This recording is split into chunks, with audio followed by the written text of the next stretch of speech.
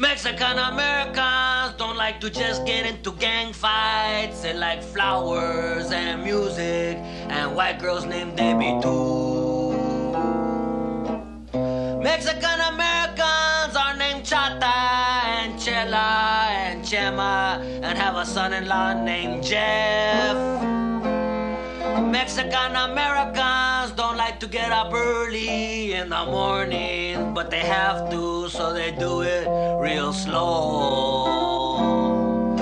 Mexican Americans love education, so they go to night school and they take Spanish and get a B. Yeah, leave that in. Mexican Americans love their nanas and their nonos and their ninas and their ninos. Nanu, nanu, nina, no,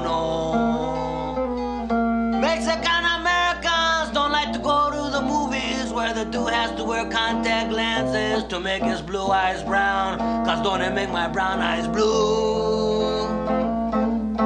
And that's all I got.